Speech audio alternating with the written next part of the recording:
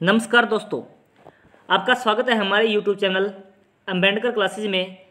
आज हम India GK का छोटा सा पार्ट और लेके आए हैं, जिसमें हम आपको जनवरी माह के महत्वपूर्ण दिवस कराएँगे। इससे पहले हमने एक वीडियो बना दी है। पहले उसको देखें, इसके बाद इसको देखें। तो चलो हम इस वीडियो को स्टार्ट करते हैं। सबसे पहले है इक्कीस जनवरी। इक्कीस जनवरी को मणिपुर, मेघालय, त्रिपुरा इन तीन राज्यों के स्थापना दिवस मनाए जाते हैं। तो अब इसको कैसे याद रखेंगे? देखो 21 जनवरी को क्या होता है? सर्दी का दिन होता है, सर्दी होती है इस टाइम में। तो इसमें क्या होता है? मणिपुर, मेघालय, त्रिपुरा। अब इसको याद कैसे करेंगे? अब मणि किसके किसके लिए ज़रूरी होती है? सांप के लिए। तो सांपों के लिए किसमें सांपों के लिए क्या होती है? मणि। तो 21 जनवरी को सर्दी होती है। सर्दी में मणि लेकर वो अंदर अपने, अंदर ही अंदर रहते हैं सांप। ठीक है? तो उसके बाद आ गया मेघालय। अब सर्दी में मेघ सारे, सारा दिन मेघ आए रहते हैं। मेघ मतलब कि बादल आए रहते हैं। बादल छाए रहते हैं ना सारा दिन, सर्दी होती है तो सारा दिन बादल छाए रहते हैं, उसको मेघ बोलते हैं। मेघ को, ठीक है, ये संस्कृत का वर्ड आ गया मेघ तो उसके बाद आ गया त्रिपुरा। अब त्रिपुरा का हम क्या पढ़ेंगे? त्रिनेत्र। त्रिनेत्र किसके होते हैं? शिवजी महाराज के, ठीक है, भोलेनाथ के। तो भोलेनाथ क्या करते हैं? सर्दियों में तांडव करते हैं। ऐसे याद रख लेंगे।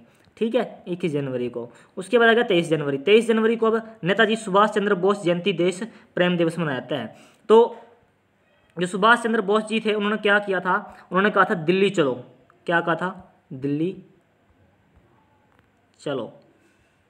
ठीक है, उन्होंने नारा दिया था। इसके साथ उन्होंने कहा था, तुम मुझे खून दो, मैं तुम्हें आज़ादी दूँगा। ये भी उन्होंने कहा था। ठीक है, और बापू की उपाधि इन्होंने महात्मा गांधी जी को दी थी। ठीक है, उसके बाद आगे हम क्या करेंगे? देखिए, किस याद करेंगे अब अब इसमें दो तीन, तेईस में क्या आ रहा है? दो तीन। क्या आ रहा है? दो तीन। अब इन्होंने कहा, दिल्ली चलो। दो तीन लोग मिलके कहाँ चलो? दिल्ली चलो। दो तीन लोग मिलके दो तीन जन जन, दो तीन जन। जन से याद करेंगे जनवरी दो, तीन से याद रख लेंगे। तेईस, दिल्ली चलो। किसने कहा? सुभाष चंद्र बोस ने, जिन, क्योंकि इनकी जयंती होती है इस दिन। ऐसे याद रख लेंगे।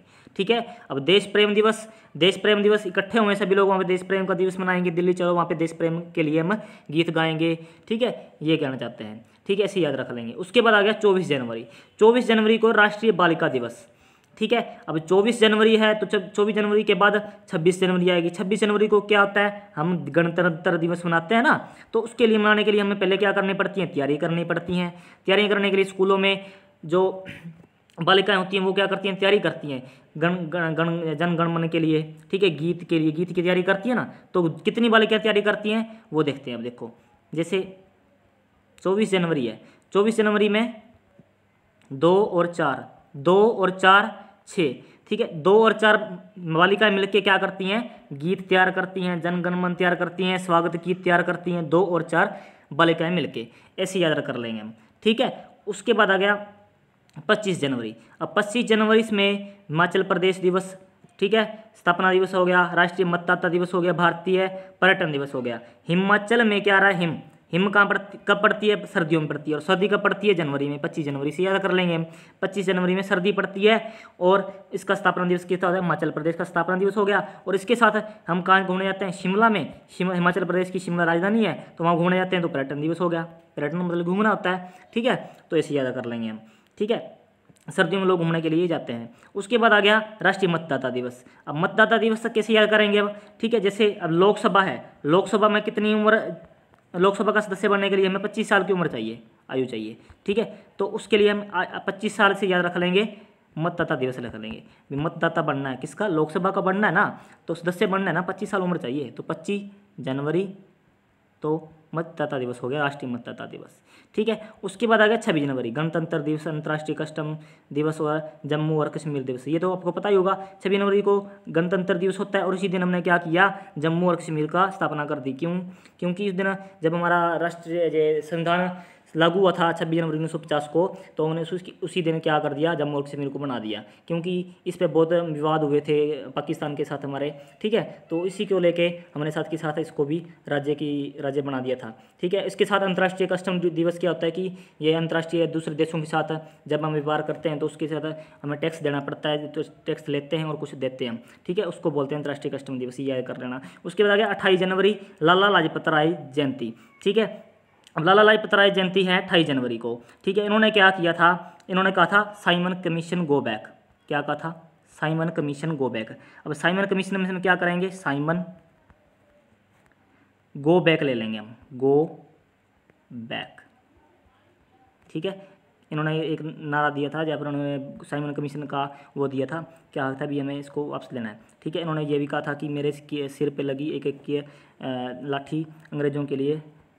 सिद्ध रहेगी, ऐसा कुछ इन्होंने नारा भी दिया था, ठीक है? ये भी याद रखना आपको थोड़ा सा कोटेशन याद रखना ये, ठीक है? उसके बाद आ गया साइमन कमी साइमन कमीशन है, लेकिन मैंने कमीशन नहीं लिया मैंने ओनली लिया साइमन गो बैक तो इसमें देखो कितने अक्षर आ रहे हैं, एक, दो, तीन, चार, पाँच, छः, सात, आठ, नौ, दस। दस आ रहे हैं तो दस का कैसे करें हम? दो और आठ। ये दस होते हैं ना, इनको जोड़ देंगे तो दस होते हैं। दो और आठ, दस आ रहे हैं साइमन गो बैग में, ठीक है? दो और आठ, ठीक है? दो अलग हो गए, ये अलग हो गया आठ। ठीक है, ऐसे कर लेंगे। तो दो और आठ, अट्ठाईस हो गए। अट्ठाईस जनवरी को क्या होता है? लाला लाइफ तराई जयंती होती है। लाला लाइफ तराई ने साइमन को कमीशन का विरोध किया था। ऐसे याद कर लेंगे। ठीक है? उसके बाद आगे चलते हैं। ठीक है? तीस जनवरी। अब तीस जनवरी को पता ही होगा, तीस जनवरी उन्नीस सौ अड़तालीस को नथुराम गोडसे ने महात्मा गांधी जी को गोली मारी थी। ठीक है? और उसके बाद आ गया स्मृति दिवस इसका, क्योंकि इनकी मृत्यु हो गई थी, शोक दिवस मनाते हैं, क्योंकि सर ये बड़े, बहुत बड़े नेता थे, राजनेता थे हमारे तो उन्होंने इनकी मृत्यु हो गई थी तो सभी देश ने क्या किया था, शोक दिवस मनाया था, ठीक है? सर्वोदय दिवस, नशा मुक्ति संगलम पर सप्त दिवस भी मनाया था, ठीक है? विश्व कुष्ठ दिवस मनाया था इसमें, ये आपको साथ कैसे याद कर लेना, और तीस जनवरी को शहीदी दिवस भी होता है, ठीक है? जो कि हमारे देश हमारे देश में तेईस तेईस मार्च को भी शहीदी दिवस मनाया जाता है और हरियाणा में तेईस सितंबर को भी मनाया जाता है और तीस जनवरी को भी ये कौन सा ये क्या शहीदी दिवस मनाया जाता है। ठीक है? क्योंकि इस दिन भगत सिंह की डेथ हुई थी और फांसी दी किसी उनको। यहाँ पे महात्मा गांधी को गया, ये राव तुलाराम की याद में हरियाणा में मनाया जाता है। ठीक है? उसके बाद आगे चलते हैं। इकतीस जनवरी। इकतीस जनवरी को राष्ट्रीय महिला आयोग। अब हमने तीन जनवरी को महिला दिवस पढ़ा था ना? तीन जनवरी को हमने पढ़ा था महिला दिवस।